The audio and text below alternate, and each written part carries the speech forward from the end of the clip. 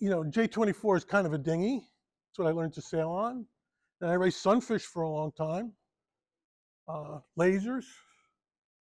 Tried to do vanguards and broke my knee. And that can't, when you can't bend your knee, you can't get into those small boats anymore. So that was the end of that. Um, and then I've been involved in a couple of really successful uh, programs in my own boats over the years. So, what do we think about? We're going to jump right into this.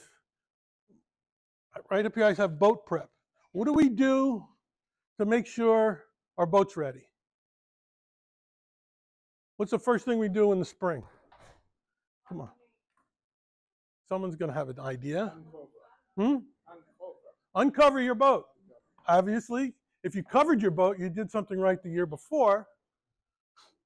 Uh, but uncovering your boat's important because now you're starting you're starting to think about sailing. You're starting to think about things, and then we work on the bottom. We wax the top sides. Now bottoms. Now people don't take seriously uh, a good bottom or know what a good bottom or a bad bottom is.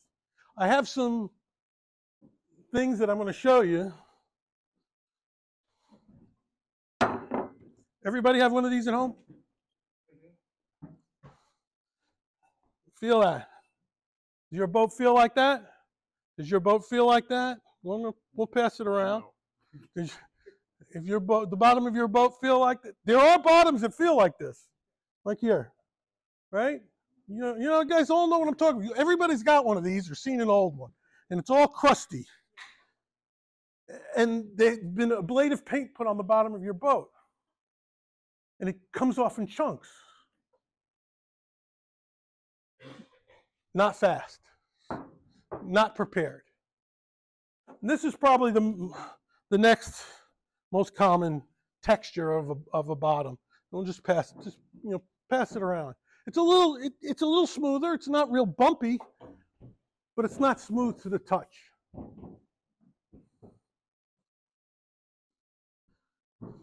My last prop for this, everybody's got one of these.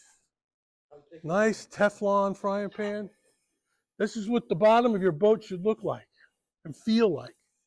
Not maybe not look like it, but definitely feel like it. And if you want to come up and feel this one, I'll pass that around as well. Why is boat bottom preparation important? It's resistance. It's it's slowing it. The smoother the bottom, the faster you go through the water. Now, is any dinghy sailors here? Small boats? It, you don't might not put bottom paint on your boat, but it's got to be smooth, right? So if it's smooth, that's great. That's not holding you back. If it's not smooth, it's holding you back. Three tenths of a knot, does that mean anything to anybody? When you're sailing for two hours, three tenths of a knot adds up. And you're that much further behind and further behind. Your boat's not fast. And what do we do to keep our boat bottoms in good shape all year long? Hmm? Clean them.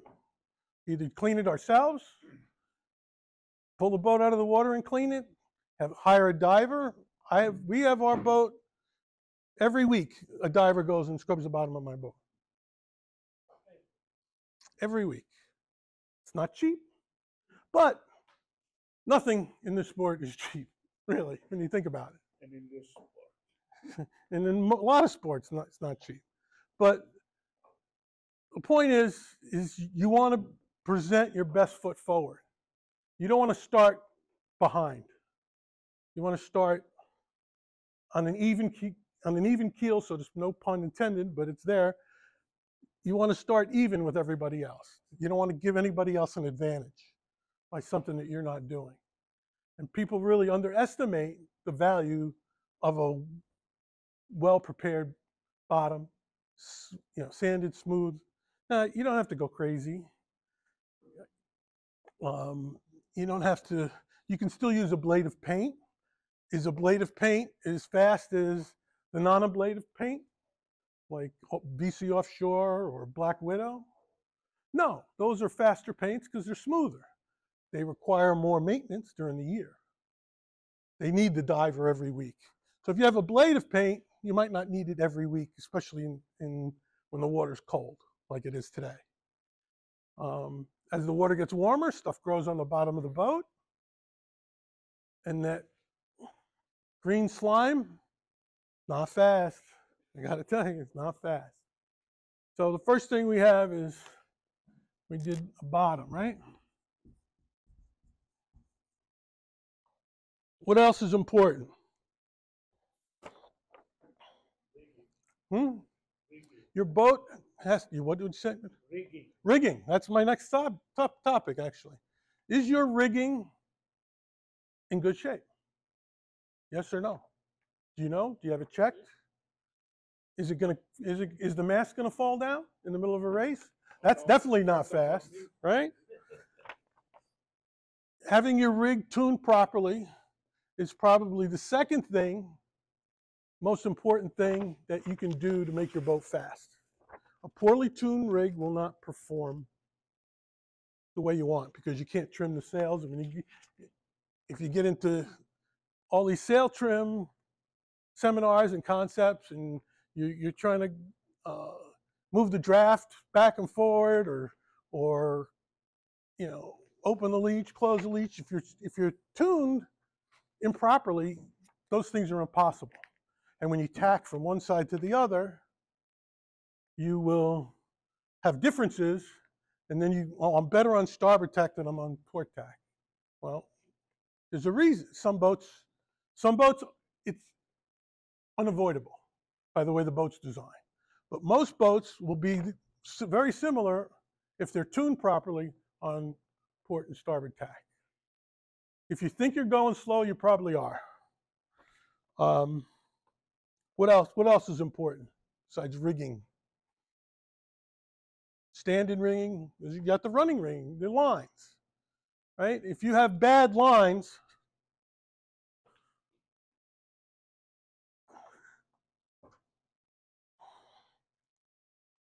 not a good line, right? Sometimes you see this in the middle of the line, like this. Something wrong with that, right? Is there anything wrong with that? Yeah, there's a lot wrong with that. It's old. Actually, this one, the rest of the line isn't in bad shape. You can cut this line, you can cut the bad part off and still have a halfway decent uh, dock line. Dock lines are important. But before we get into lines, we're going to get into, into lines. What about, what else do we do in the spring when we get on a boat? When we take our cover off, we do the bottom, we wax the boat maybe, right? So it's, hmm? Service your winches. That's, that's part of it. If your winches don't turn properly, it's going to slow you down. What about cleaning the boat? Is that important? The outside, the inside? And we're going to get into this later when we talk about crew, but nobody wants to go on a dirty boat. Nobody wants to go on an ugly boat. Everybody wants to go on the nice, shiny, doesn't have to be a new boat, but as long as it's shiny and clean. Now, every once in a while it rains and their decks get a little messed up, and we ho- we wash the deck and it goes away. I'm not really talking about that. I'm talking about rust stains and, and grime and things on the boat that are supposed to spin that don't spin because they're corroded and there's too much dirt in the way. Those are the things that turn people off.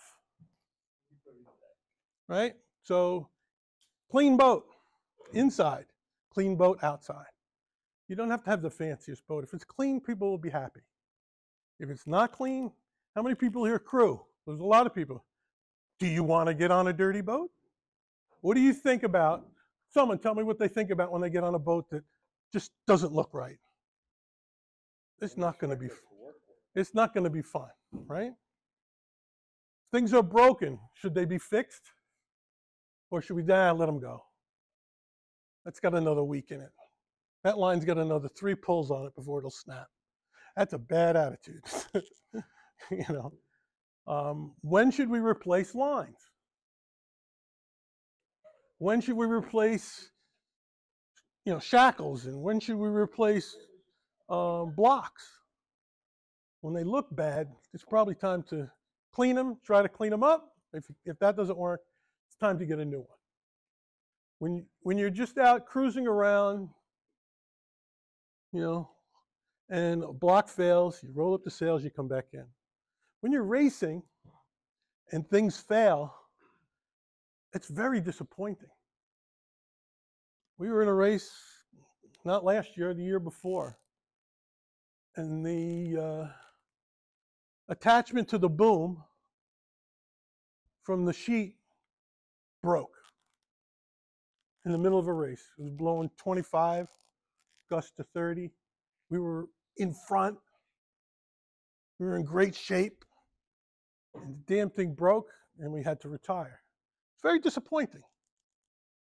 Very disappointing. And you don't want to dis- it's disappointing as an owner, as a skipper, and it's disappointing as a, a crew member. So keeping your your equipment in good shape is important. It's part of the battle. And it's and it's not as hard it, it may get expensive at times, but it's not as hard as people want to think. A lot of people do their own work. If you don't know how to do the work, ask somebody. YouTube. Anybody here use YouTube? How do I clean my winch? Boom, boom, boom. YouTube. I have a I have a Lewmar winch. You're going to find a video how to do it. How do I how do I sand my bottom? YouTube. YouTube's your friend. Um, let's talk more uh, about lines. So I'm going to bring up Halsey, Halsey Bullen. He is one of the premier line people here at Cedar Point. Um, he's the one I ask all the questions to. I uh, started racing big boats when Steve was about this high, so I've been around for a while too. What is it with lines? Okay, rope, lines when you use them on a boat. Uh, these days, most lines are strong enough that you're not going to break them in use. You have a line that breaks, it, you shouldn't have been using it. The key thing about lines that are used to trim the sails is stretch. Do they stretch? How much do they stretch? And what's the pattern? Sometimes stretch is your friend. Some of you may remember doing some splicing a year ago with line that looked like this. This is the one of the leftovers.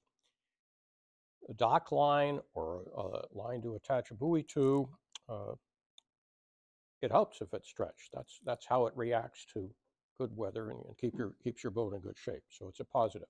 This line's made of nylon, just like some stockings. And it was the first artificial material used to substitute for things like sisal and jute and manila that used to be the standards 100 years ago. And it's good, it's very strong, and much stronger than the similarly sized natural fibers, but uh, it stretches a lot, like maybe 5% a little more than that under stress, something like that. It's supposed to in the, in the configurations you have. But that's not what you want on a line that's adjusting your sails. If your sails, you've got a halyard holding them up, you've got a sheet trimming them, you've got perhaps a, a, a traveler line, uh, an outhaul pulling it out, maybe a Cunningham pulling it down. Those are lines that you want to hold in the position that you want to hold them in. And if they stretch, you run into a problem. Why is that? Think about the sail. If you have a sail, one of the principles of it is that if it's not very windy, you have ease the sheets, ease the halyards, so you have a nice big shape, powerful shape, so you can get going even though there isn't much wind. It's the opposite. When the wind comes up, you want it tighter and tighter and tighter. The sails are designed that way. And if you're trying to go upwind, it's really important to have that. So if you have a line that stretches, first you set it up, you're going fairly well, the wind suddenly puffs from 10 knots to 20 knots. What happens? That's a lot of force on the line. The lines are fairly long, 50, 50 feet up for a typical main halyard, for example. So what happens? If the line's stretchy, it eases the sail.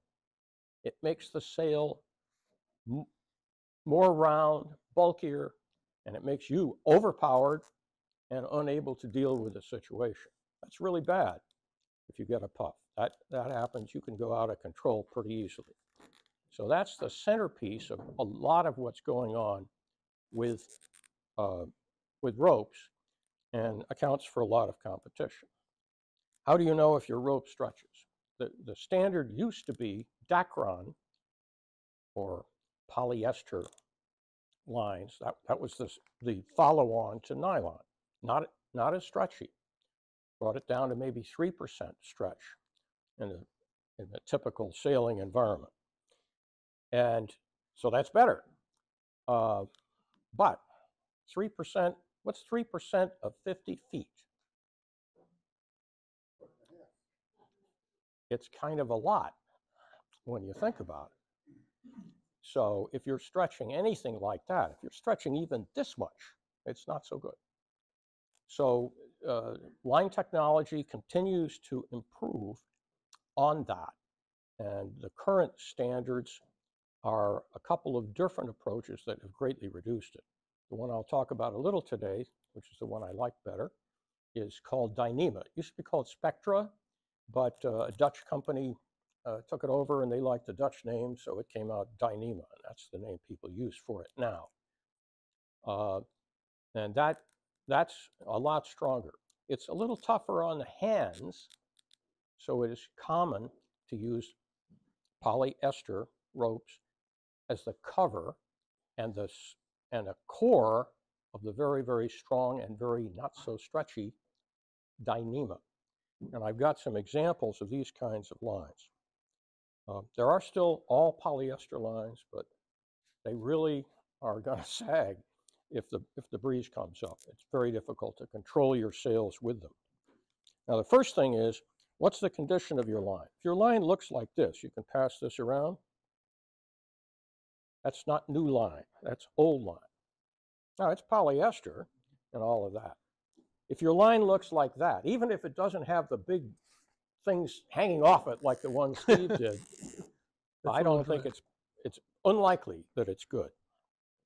Even if it looks nice, here's a, here's one that looks nice. We used to use this. Um, it's polyester uh, with a polyester core, and looks nice and shiny. And it's nice and flexible. Feels nice on the hand. This is a polyester thing. Pass pass them on back. And the only disadvantage of it is it's really stretchy. I finally, Steve and I were debating whether to continue using the line, and I demonstrated to him, which I can't really do here, by pulling down on the line from 50 feet down, that it was really stretchy and it was unsuitable, even though it looks okay. So that leaves you with other things. This is an example of what you would typically see. Now, this is not a new line, but it's still a good one. It has a Dyneema core, typically small, little slippery, and not very big. You look at it and say, Whew, how can that work? Well, it does because they use heat uh, technology and they don't just heat it up, they, they pull it in some clever, fancy way to do it, and they keep improving it.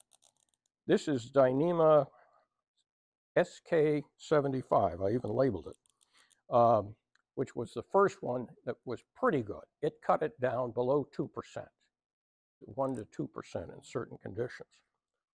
And from this, you can, again, pass it, pass it back, you can see how nice it is to feel the cover as opposed to having to try to hold on to the core.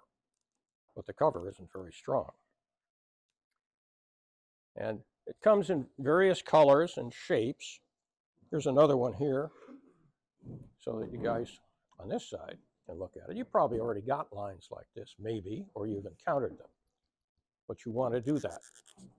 The, uh, the stretch characteristics continue to improve, and 75 has been improved to 78, which is down below 1%. And the latest one is SK99. Notice that the numbers are going up, so are the prices. SK99, and that's uh, that's real good. In fact, this is this is Espresso's main halyard. Try not to gum it up, but take a look at it. It's got SK99 core. This one, I believe, came from came from Europe. I've forgotten who the manufacturer was. It was a matter of trying to find somebody who had it. And comes with a, a reasonably good cover. You can take a look at this as well. And again, it's got a core. Notice that the core isn't very big. It's six millimeters. We have a 37 foot boat with a giant mainsail on it, and this is sufficient to hold it up and not stretch, hardly at all. Well under 1%. Still a little bit of stretch, still the, you know, the 55 or whatever feet it is that we've got on the hoist will still stretch some, but better. Some other subtleties about it. If you tie, I'm sorry? yes, that's our halyard. One way to put an end on a, on a halyard never find the body. and attach it to our sail. Yeah, remember that big number. it's expensive. You can you can end a sail like this with a bowline. You can attach that to your sail. Some of you may still do that, or with another knot like this. A disadvantage of this knot is that people have found out by extensive testing, this reduces the strength of the line in the area of here by 50%. 50% reduction if you do it that way. If you do it with a splice like the halyard here, or a couple of the other ones, and it comes out right, you have a maybe 5% reduction in stress. So if your halyards haven't been spliced, or, and I'm talking halyards, sheets, same thing, they ought to be. I can do it, it's not rocket science. Making this rope is rocket science. I don't know how they do it, but but uh, it's easy enough to splice it and and and have it come out. So my advice is take a look at your rope. Oh, how long do ropes last? Everything wears out. Everything wears out. So after your sails may only last, may only be in super racing shape for three years, the rope will last maybe twice that if, every, if you take good care of it. But if it's been on your rope since, been on your boat since, I don't know how long this has been on the boat, take a look at it, take a check. Also, as part of the preseason, run your fingers over the lines. Are there any hiccups? Are there any breaks in the line? Look at it. Falling apart. There may be friction at a tight spot or, or something sticking out of the shaft or something like that. It may be roughed up in the area of the uh, where you're trimming, on either from the winch or from the stopper. Eventually, that will get to you. You can fix that in some ways. If it's there's friction in one point, you can shorten maybe the line so that the friction point isn't stressed anymore. You can do that. Finally, one, one more item. You notice that this is the main halyard on our boat, and it's not on the boat. It was in storage in my house. Now, why is that? Because every year, I and maybe you should take off all the critical lines on the boat, wash them, and give them a rest. Substitute some old crappy line or, or a, a messenger to do that. If you, what? I put them in a sink with a little bit of hand soap and whoosh them around for a while. and then I rinse that out, and then I uh, rinse them out again until the, until the water is no longer black, because you will find that your ropes are dirty. Um, that helps the rope, and uh, obviously it's a little nicer on the hand. And just not having it up on the mast in the winter is obviously going to extend the life of your line. So check out your, your line. If it's old, tired, if you have had already problems with the sails, with the line stretching, uh, and when a puff hits, you're probably a candidate for this. I do this for other people. A lot of people do this for other people. There's a lot of different lines. There's a lot of bewildering explanations and technology on the rope. And oh, you, you can hardly tell $3, 50 cent a foot line from $1 uh, line until you set it. Then you can tell. So So the, the some thoughts on rope. question, We used to, you know, on our halyard, which we we were talking about stretching, Hmm. wire and rope. Right. Don't they do that anymore? no. Why? The rope is actually stronger. The This rope- modern rope is This actually SK stronger weight for weight How about stretch? and the stretch factor, everybody thinks wire doesn't stretch. Not, not quite. That is a downside of using the, the line is there will be some stretch. Uh, most of it bounces back. Some of, there's something called creep uh, that makes it advisable not to leave your Dyneema halyard under full stress a lot of the time. So that's a, that, that's, and it's true to some extent of other things. If you have a jib that's rolled up that you leave up for three months all summer, I want to relax that halyard from time to time to avoid that kind of problem. Yeah, the halyard will just last less. It'll last less long. Um, use it on a roller furling. Like- and, the, and the other reason is you have to splice the wire to a rope. I do wire rope splices. You don't even want to do that. I mean, you don't have to anymore. Don't do it. These three types of rope, the SK 99, 78, 75. Um, and, you know, this is less money than this, and this, you know, this is the most expensive one. Uh, it's stronger than, it's stronger than cable. So, uh, it's got a higher breaking strength. Everything we have on a boat has a breaking strength, lines, blocks. So you have to be aware of that, what the loads are on your boat, and uh, appropriately uh, attach the equipment to the boat that is that's designed to handle the load. That's designed to land, handle those loads, and that's really important in here. We have on our boat we have a backstay that's made out of line, SK99. It's stronger than the, the steel, the, the stainless steel that came with the boat. Stainless steel, it's stronger. It has a higher breaking strength. Um, that's great. Lines are good. We love line. It's expensive. Um, if you don't, if you don't know how to splice it, it's even more expensive to pay someone to do it. So if you want to take up a hobby, uh, learn to splice. It's not hard. Winter pastime. Hmm? Winter pastime. It's a winter pastime.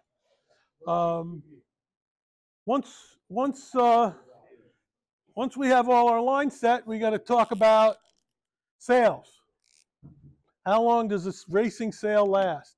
Well, that depends. What's it made out of? There's a lot of different materials in sails. You know, we have Dacron. Dacron, nice white sails. As long as they stay white, they look nice, but they do stretch but they last probably, they're probably the most durable sail material out there. And now we can go all the way to, you know, it's Kevlar, carbon, carbon fiber sails, there's aramid sails, which are a mixture of different materials, whether it's Technora, and I'm not going to get into that, but there's different, there's definitely different levels of sails you can buy, and some last longer than others. Um, and if you're worried about longevity, mention it to your sailmaker, and they'll work with you to get something that you'll be happy with. It'll give you enough performance that you're happy, and it'll last longer or maybe not so long as what you've had in the past. Um, they're really making great strides in uh, material these days. Um, now, I think the number one question I ask when I go to buy a sail is how much does it weigh? I think weight's important. Everybody doesn't think, you know, Dacron sail. My Dacron 135% jib weighs more than twice what my carbon fiber racing jib weighs. And that's weight aloft, right? It's weight on my back when I have to drag it up to the bow, right? Nobody wants to carry uh, heavy sails. Um, but if you're if you're doing a lot of racing, you want to you want to get more racing type sails because the next guy's got them.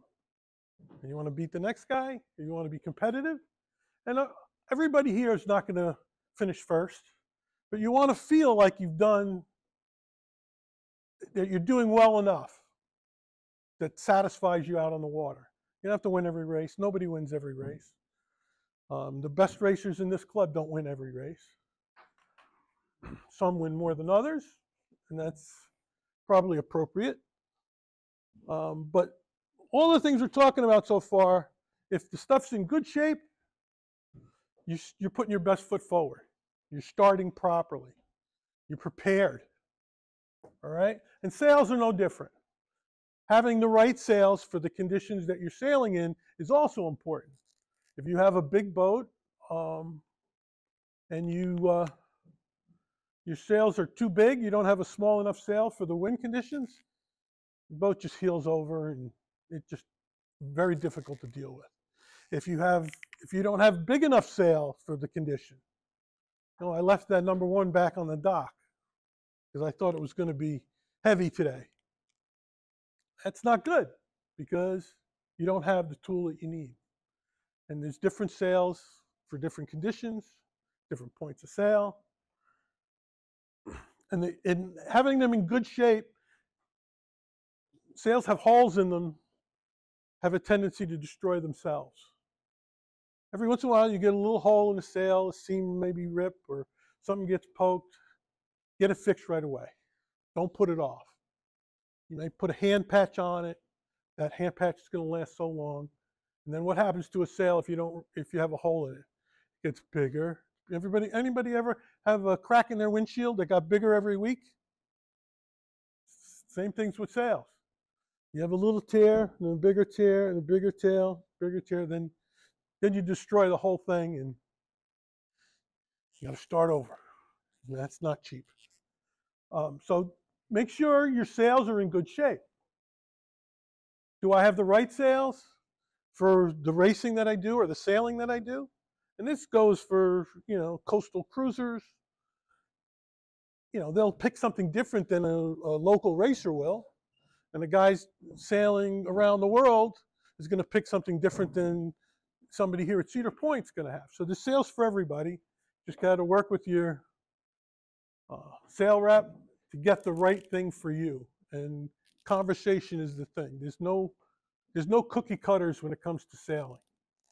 Unless you're in a one design boat and this is what you got, right? Like John, what do you do? What do they do in the in the Flying Scot? You don't have choices, do you? Don't have choices. It's all one design. It's all one design. You can use different different manufacturers, right? But they have to be cut exactly the same. And that's the essence of one design. Um, what else is important on a boat? To be make sure it's in good shape. Electronics? How about electronics? How about a GPS? How many people race around race out here in in the in the fixed mark racing area? How many people have a GPS with all those waypoints in it? That's good. That's good. If you don't, you're just following people. You don't know where you're going. Um, we've all started. Hey, when we all first started racing here at Cedar Point, even myself included, I just followed people. My first year, I just followed people around. Even though I had the had the stuff in the charts, I mean, I had the, the GPS and everything, you still just following people around because you got to learn the area. But how many races do you win following people around? None. All right. Um, but no, so it's important to make sure your GPS has batteries. Make sure your electronics work. Depth sounder is that important? Sometimes. Sometimes coming in here, you know, you can get caught in the wrong place in the channel. If you're on your way out and you get stuck in the mud and you got to wait an hour and a half, you miss you miss the race. It's disappointing. If it's Wednesday night and you get stuck on the way back in, you miss dinner. Is that important? it's all about a positive, having a positive experience. Um, so electronics are important. You know, wind indicator. Um, when I first started sailing on the J24, we had a Windex, we had a depth sounder, and a speedo. That's it. We never GPS. The orange marks up there. You know, didn't need a GPS. But in today's environment, you know, if if, if it's a, one of the distance races we run here, you can be going across to Port Jefferson. Well, It's over there somewhere, right? But you don't want to go here and then have to come back here. Sailing longer is not good. So having a working GPS with all the waypoints pre-installed is probably the way to go. And, you know, instruments are, they'll tell you when it's time to go to the bathroom nowadays. You don't need all that stuff. It's nice, but I find that skippers that watch the numbers are distracted. They're not sailing straight. They're not the ones that are supposed to be watching all those numbers. Who, who watches the numbers? The navigator, a tactician. Let them watch the numbers. Let them say, you know, let them say, hey, we got to head up 10 degrees for that mark. If you're driving the boat and you're watching all those numbers ticking and ticking and ticking, what are you not watching? You're not watching the telltales, the Windex, the other boats around you, right? So it's important to have the stuff work. If it doesn't work, um, it's not the end of the world. We didn't always have, I mean, if I didn't have a Speedo, how do I know I'm going fast enough? And I'm, I'm serious. I'm not, that's not a joke. How do I know I'm going the speed I'm supposed to be going?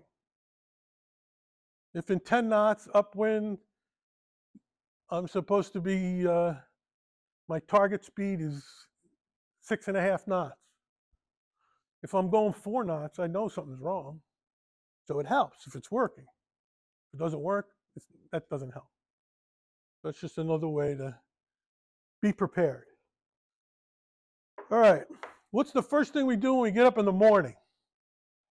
We're going to go sailing, whether it's racing or just cruising out or maybe taking a power boat out someplace. What's the first thing we're going to do? You're going to check what?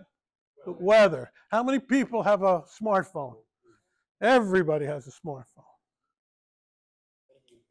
What weather app do you use on your smartphone? Which one comes with an iPhone? The Weather Channel, right? I have found that that is one of the most reliable sources for this area.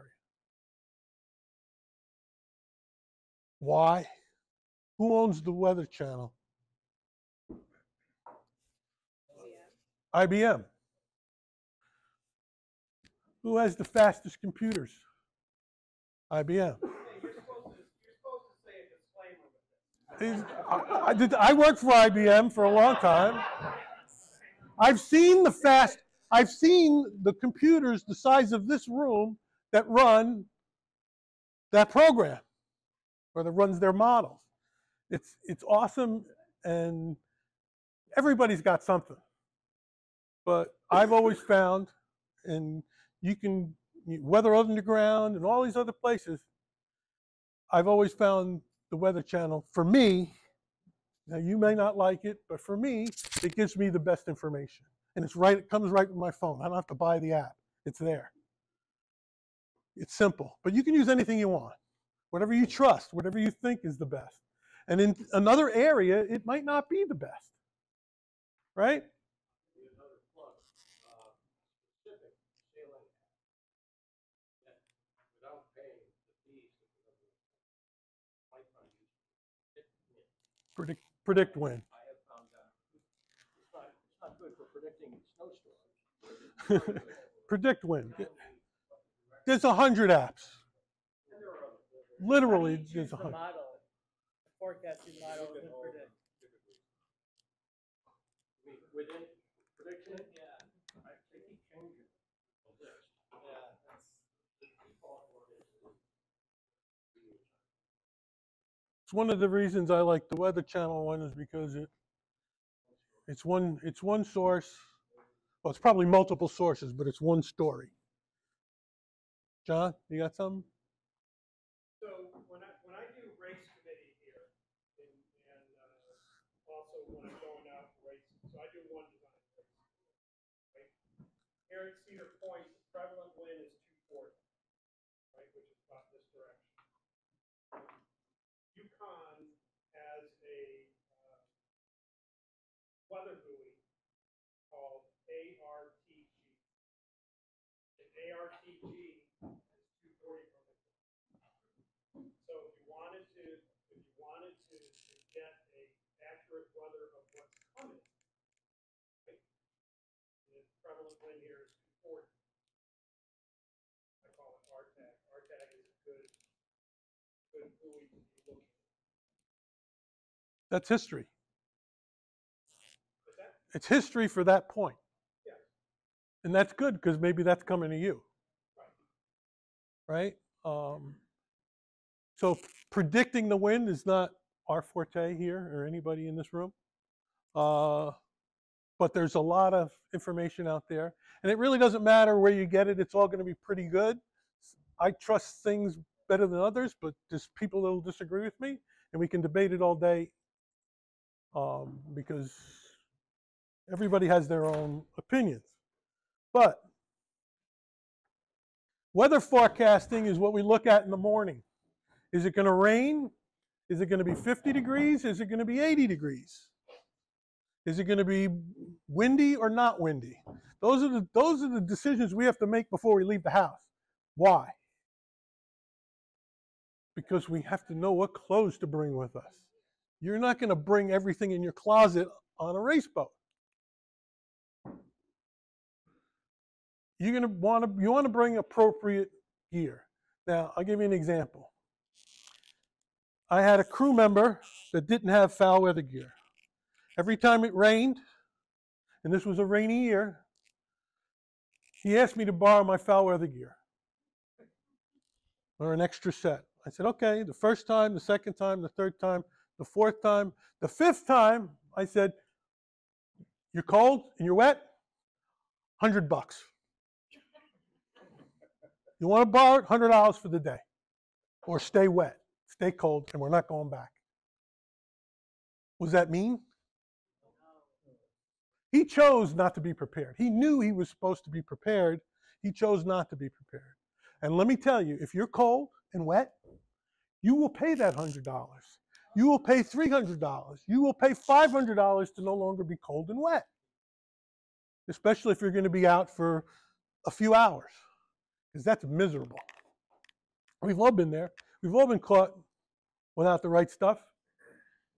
You know, whether it's you go into the supermarket, leaving your house tonight. I was in the house all day. I walked outside. I didn't have a jacket on. I ran back in and I got my jacket. Did he come back the next week? He, he, he bought himself a foul weather jacket for the next week. The problem was you having a spare one. That was his program. Your problem was. My problem- I have a spare one in case you forget, not don't own. Okay? If he had just forgot it once in a while, and that's what it's there for. I have a spare set on the boat. It'll fit, it might not fit you perfectly, but it, it'll keep you dry, right? It's not for the guy that he was new. Um, he wasn't a new sailor, but he was new to the crew, and he just didn't go out. And it's not like he couldn't afford it. He made more money than I did. You know? So he wasn't prepared and he chose not to be prepared, but he became prepared when when he had to when he had to. Engine maintenance. Is that important?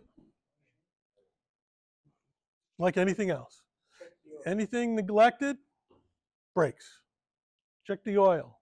You have, do you have fuel? When we bought the Express 37 from a sailmaker, his, his idea of the right amount of fuel was my idea of having no fuel. He installed, he ran out of fuel so often, he installed an electric fuel pump on his 18 horsepower Yanmar. Well, that causes more problems. Too much pressure. Um, we removed it. But his line, his full line was my empty line on the gas tank. There's no, you, you ruin your engine, you keep running out of fuel. It doesn't like to run without fuel. Um, you ruin your batteries. And then you got to sit there and pump that little thing a hundred times to get the air out when you put fuel in it. Um, but that's it's important. Does the fuel gauge work? I don't know. Does it work? Does- your boat have a fuel gauge? Um, and that doesn't matter as long as there's fuel in the tank. You're good. But you got to know how much is in your tank. Um, crew preparation. What do we do to prepare our crew? How many people here are crew? There's a lot of skippers preparing their crew tonight. That's why you're here, so you're prepared. Um, so that's a good thing. Inexperienced crew and unprepared crew. Um, I'm not going to say it's dangerous. It could be dangerous, not necessarily. Um, that depends on the size of the boat and how many of them there are, how many people know something, and how many people don't. If you're the only one that knows how to steer the boat and you fall off, who's coming to get you? Nobody. Nobody. So what do you do? Wear a life jacket all the time. No one can drive the boat back to pick you up, and we, hey, four or five years ago, we had an Atlantic skipper fall off the boat. The crew didn't know what to do. He was still floating. We had, he did not have a life jacket on. He had a life jacket in the boat.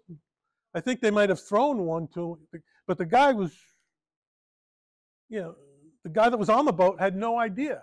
Calls the, I was on race committee. He calls the race committee and says, uh, the skipper fell over and I don't know how to drive a boat.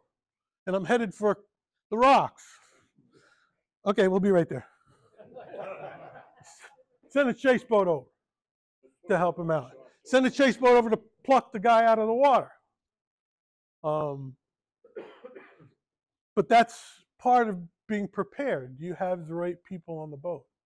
Now, the worst thing to do as a boat owner that has a good, well prepared boat is to go to a regatta with the wrong crew or not enough crew. I've been there, I've done it. You know, you have, you have, you have uh, moments of glory that come with a lot of defeat. So, well trained crew, and some of you guys are in the right direction, uh, is very is, is important. And nobody that wins every week or a lot has bad crew. They usually have the same crew. And it's hard. It's very hard to keep the same crew. So how do you keep the same crew? Bribery. Good. Someone knows something. Nice, Hmm? having a nice all the things that we talked about being prepared right makes people want to come back when they see a nice boat they want to come back when they see a messy boat they're like eh, you know i don't like racing with that guy he yelled at me why did he yell at you were you going to kill him were you on the way to kill somebody or yourself and he yelled at you to make you stop doing something that you shouldn't have been doing? Maybe. But yelling on a boat doesn't doesn't work. Believe me, I know. I've tried it. It doesn't work. People don't like it. Even the people not involved.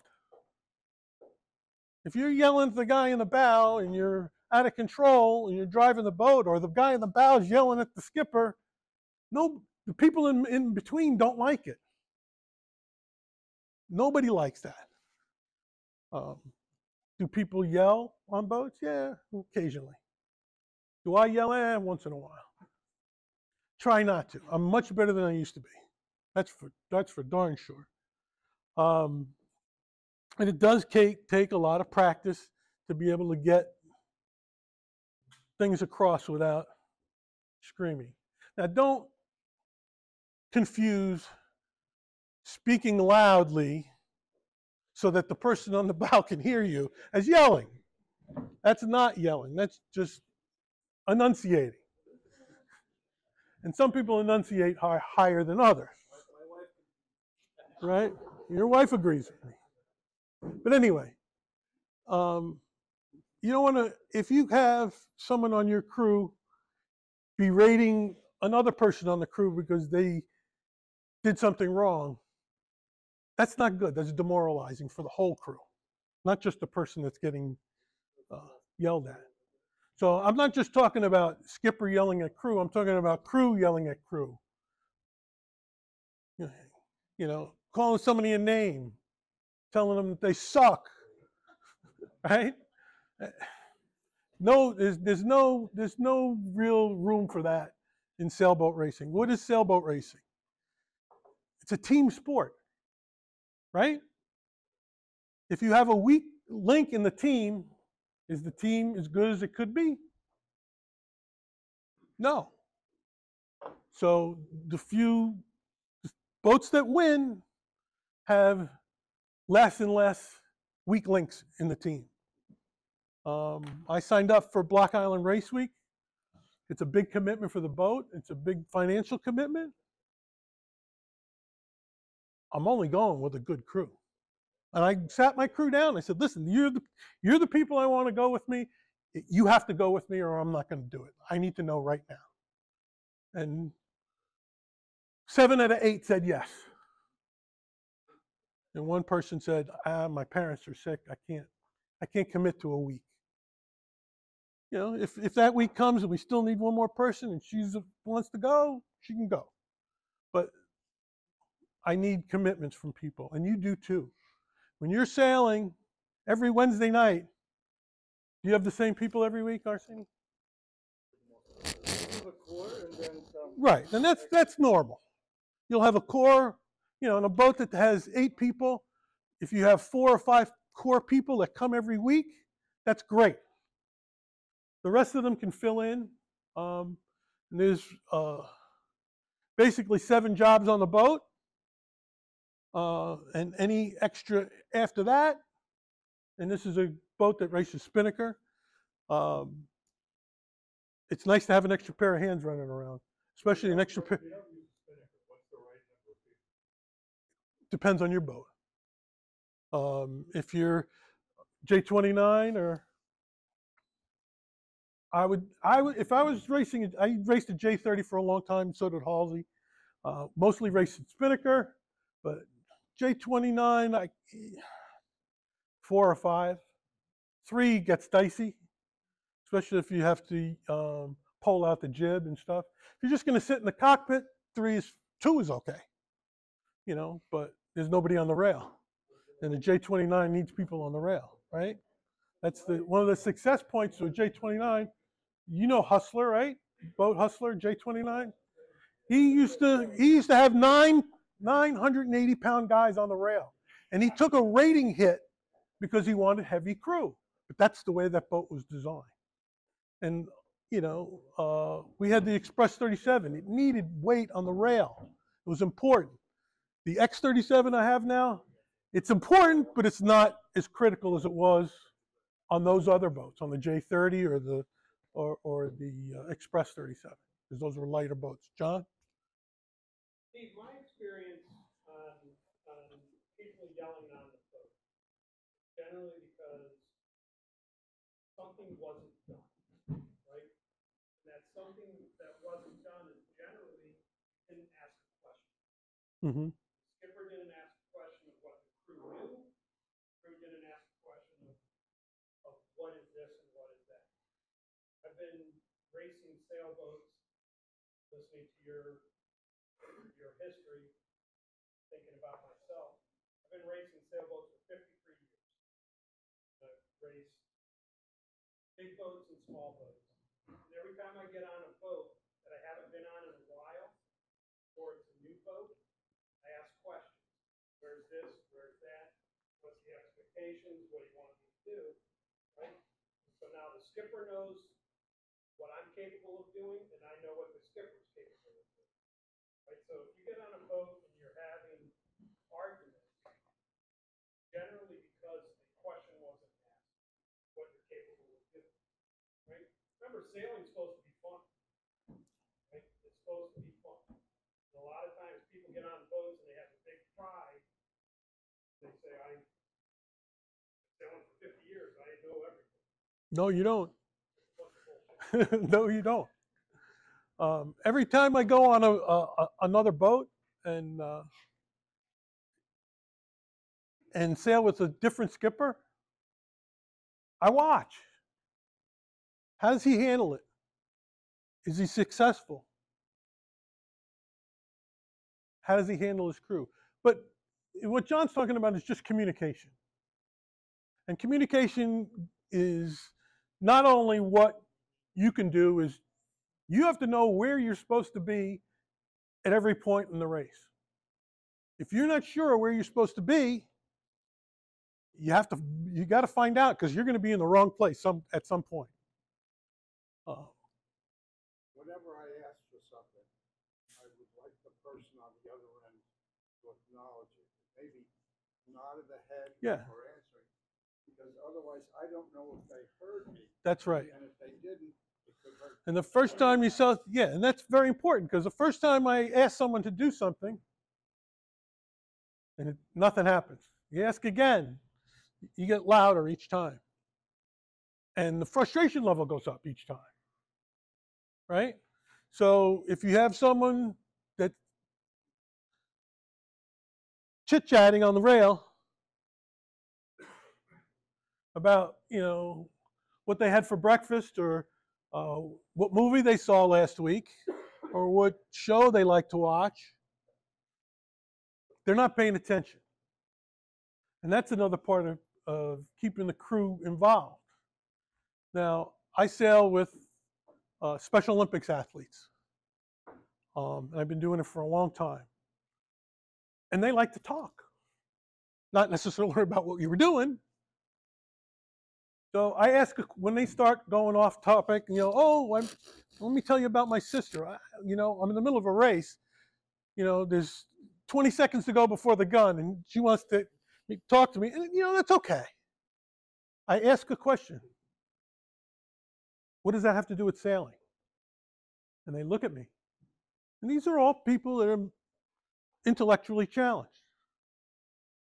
They look at me and they understand that's right. We're sailing. We're not. We're not chit chatting here. Um, and it's not mean. It's not.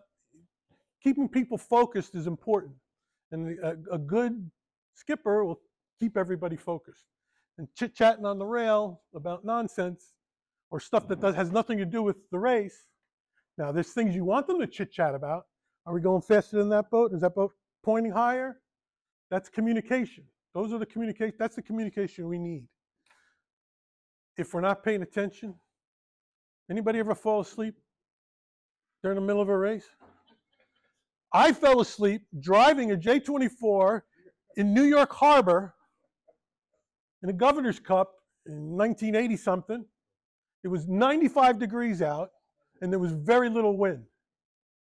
And I'm, I'm concentrating, I'm concentrating, I'm concentrating, and then I fell asleep. I mean, not for long. People were starting to yell at me. Wake up! But I'm not talking about falling asleep. I'm talking about just paying attention, just general paying attention to what's going on. If if something's happening that could be a dangerous situation, And you, hey, we're going, you know, seven knots and we're close, we're always close to other boats. And one of the things about racing sailors is that we're, not afraid of a boat being a foot away or two feet away or five feet away. Before any of you came to came to uh, racing, maybe you had some cruising experience or just tooling around on boat experience. You get up to the line and everybody's right next to each other. I mean, you're inches from one another. It's intimidating. If the crew is not paying attention or you're not paying attention as the skipper, that's going to be a problem. And that's all part of you know having a mindset about what what you expect from your crew and your skipper is important. Because you guys all have to be on the same page otherwise it's not going to work.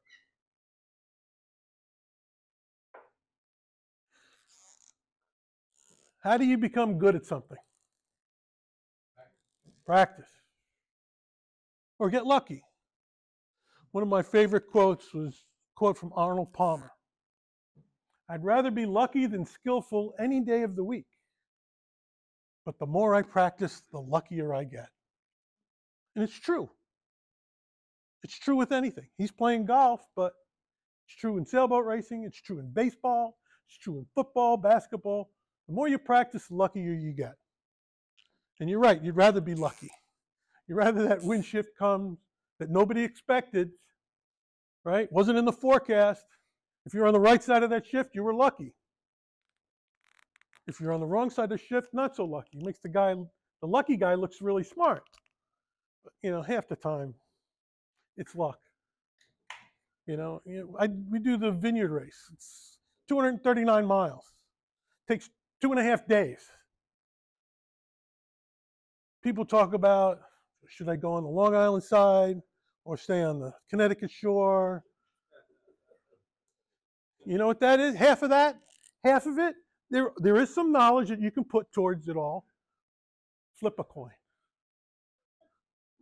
You're not going to do as well as someone that's educated, guessing edu- with education. You know, an educated guess is better than just a guess, right? But it's all a coin flip. Um, John, you've been on PRO and the wind shifts 180 degrees. Did you expect it? Most of the time? From looking at tag, the competitors aren't looking at RTAC. Do they expect 180 degree wind shift? No, nobody does. I mean, you know it's going to be shifty. That may be part of the forecast. But going from 90 to 180 or 0 to 180, you know, 45 or, or you know, 100 or a 90 degree shift, or that, that's not normal. So, are you going to predict that at, at 2.15 in the afternoon, between 2.15 and 2.30, the wind's going to shift 90 degrees and then shift back. If you tell me that you know that's going to happen, you are a liar.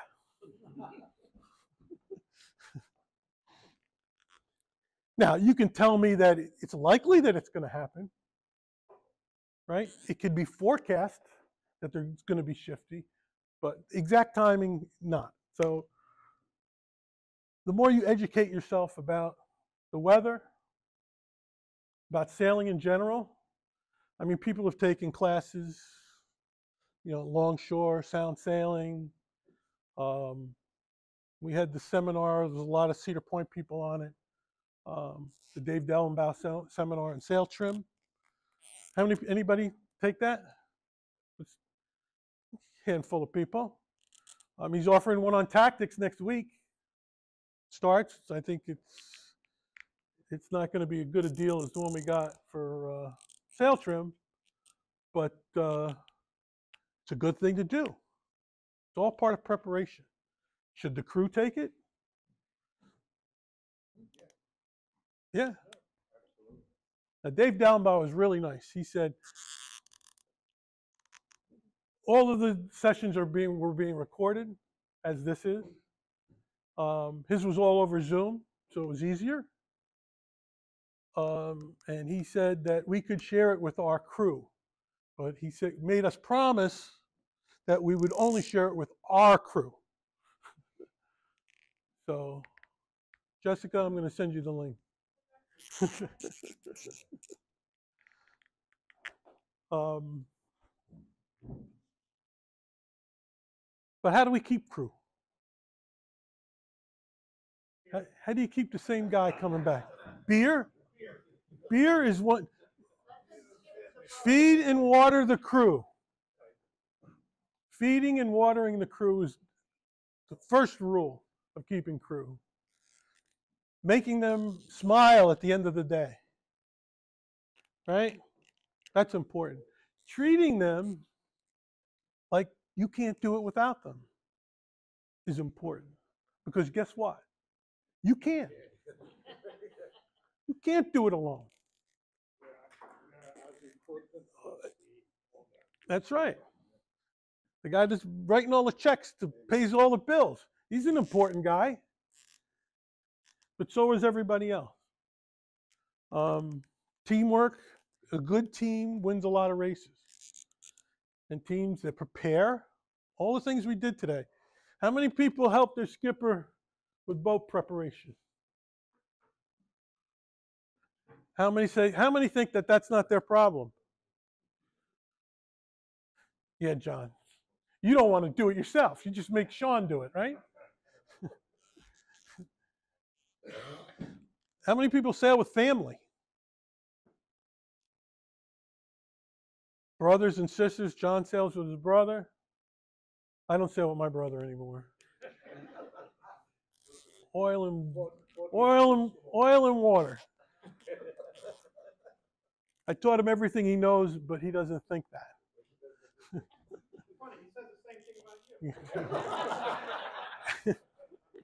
It's probably true.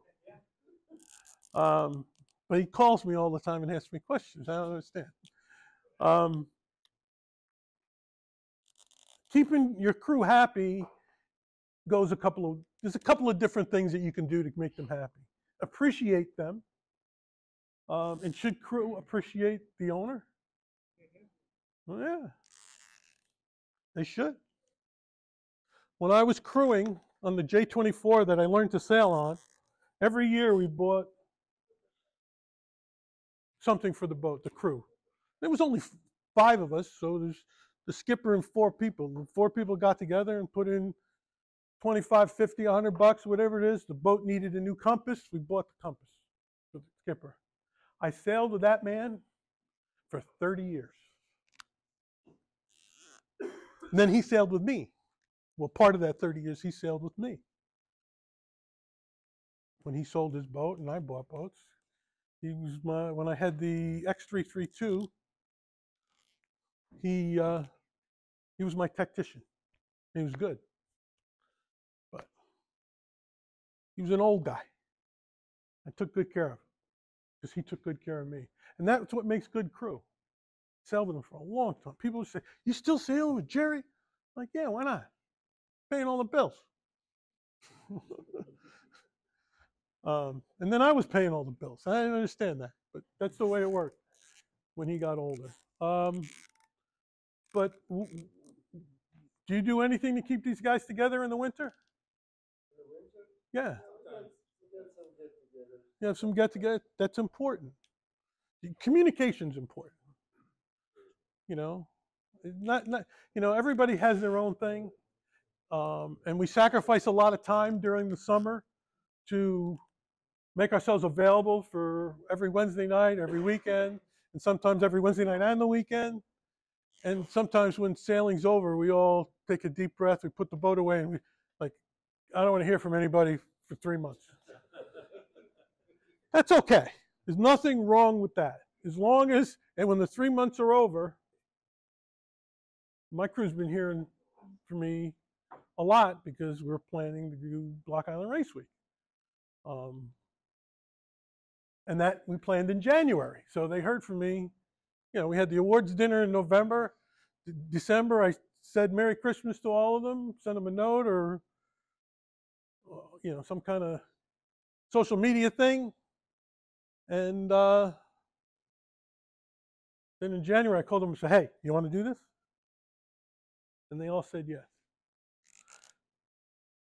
Okay. Um, not usually. Occasionally. Um, and and that, that that that's a big I depends. Um, we have certain people that know how to do certain things really really well, and when we go out as a team, we want everybody in their best spot. Um, and we try to do that, but sometimes somebody's missing, and then we we rotate people around. Um, you want also every member to know a little bit of. yes, that's true. The other positions. When we So when we- ready to move in. That's right. I mean, almost everybody on the boat can do almost every other job. I mean, foredeck is a specialty in a spinnaker boat.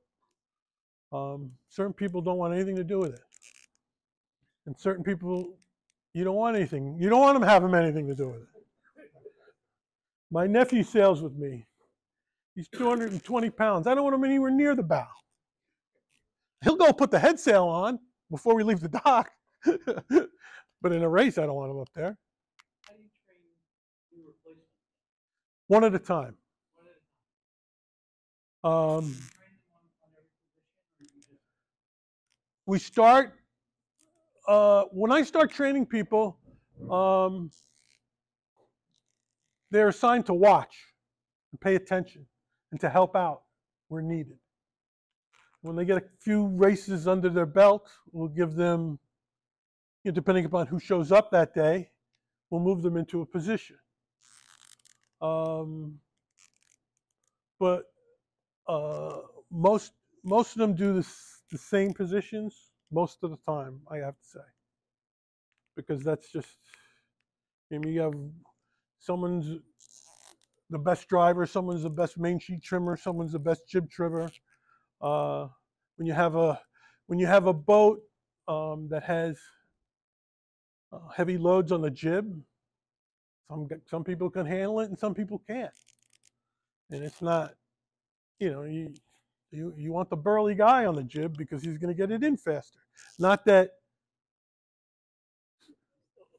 someone you know, my wife doesn't want to do the jib. She can't get it in fast enough. She don't want anything to do with it. Is that when you yell at her? No. what works with me, John, what works with me is she's in the bow. She's 36 feet away on a 37 foot boat. Perfect. So does anybody have anything that they uh, have questions about? Can you effectively navigate and steer, or steer and navigate? No. I mean, yes and no. Star I mean, sailors do it. Usually, usually, John seems to do it because nobody else wants to. Um, but um, it depends. Out here on a Wednesday night, you know, they put the course up. I know where all the marks. I've done it so many times. Navigation is simple, but that's just going. Navigation is going from point A to point B, right? So if you're on uh, a distance race and you have to go through the race, Fisher's Island, the gut, you have to pick a spot, or you have to go around a certain buoy that's 20 miles away. No, you can't act, you can't navigate and steer and do it effectively.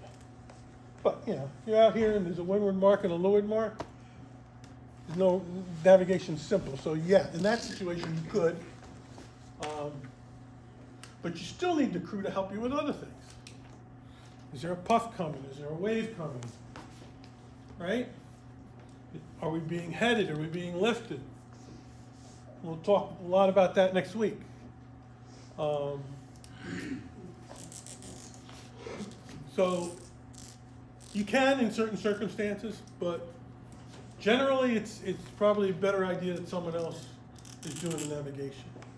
Because if I'm if I'm steering and I'm looking at the compass uh, and trying to figure out things, I'm not paying attention to the telltale.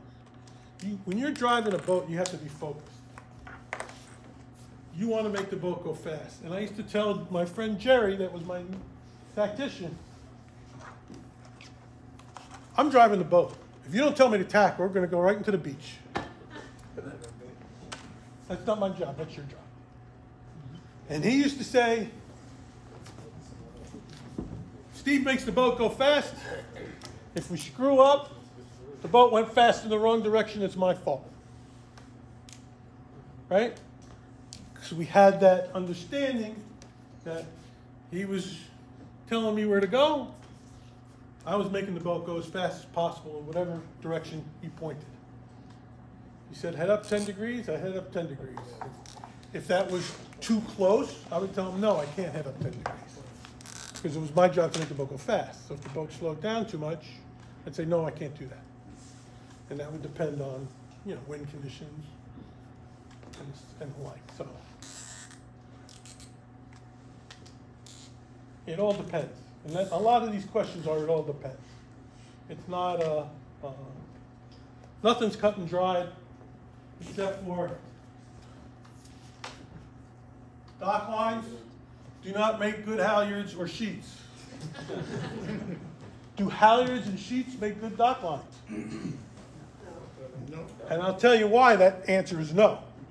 They don't stretch. There was a guy that used to sail Long Island Sound. He's, he doesn't sail here anymore. Probably doesn't have one. He had a 36-7 Tango. You remember that boat? Or is it before your time? He tied his boat up with old jib sheets. It was a, it was, a hurricane. He was tied to the dock. And his winches were on the dock. The boat wasn't. His winches were on the dock. No, no joke. He pulled the winches right off the dock. So that's where stretch is important. If you're in an anchor, do you want stretch? Yes. Yeah, because you want it to ease back. You don't want it to come back and stop short.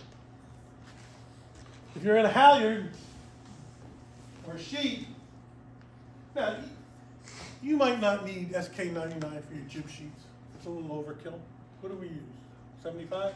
78. 78? There's no need to go to that extra $2 a foot. But most of our halyards are 99 or backstays 99.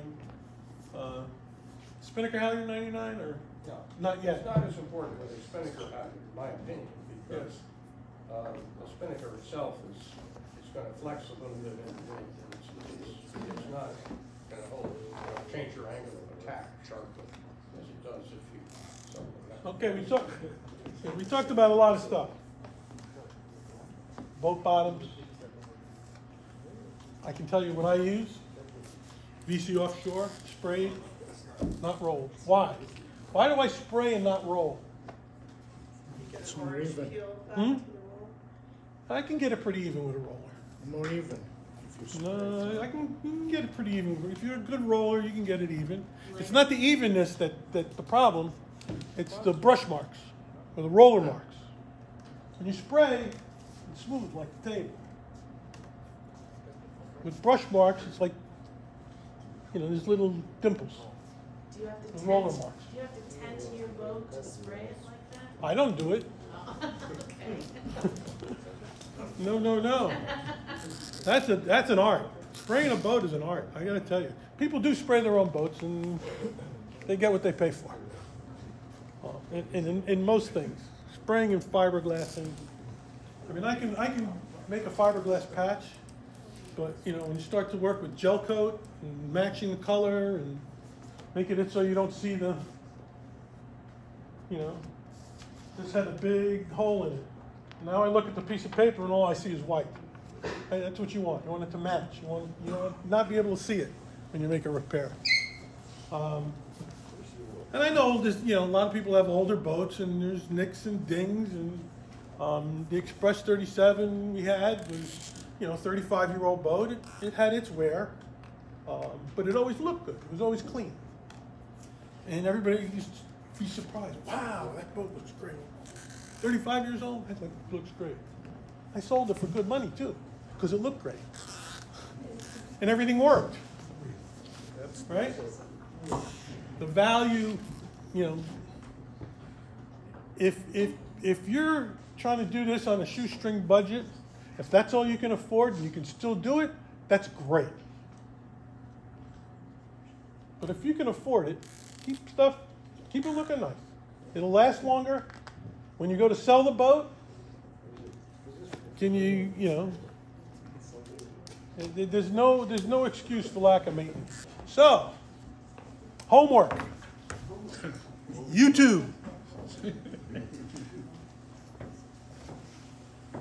Any starting question you have, put it in YouTube. Someone's going to give you an answer. It may not be the right answer, but it's going to be an answer. It'll be informative. Um, I'm not in favor of, I use, I use the bulletin board here, or the whiteboard, I do all my describing on the whiteboard, and I draw bad, badly, but uh, it's good enough. And if all else fails, look at Rule twenty-six in US sailing, version of the world sailing. Does everybody have a rule book? If you don't, Does everybody join, is everybody a member of US Sailing? to join US sailing, which costs thirty bucks, You join US Sailing, you get a rule book for seven dollars. Your first rule book. Every time, every, and every time they change, they have a promotion. Uh, You don't have to pay twenty dollars. and there's an app. You can get it on- There's an app and it's free if you're a member. There's an app. Before next week, do you let everyone know these sessions will be on YouTube by Fridays every day?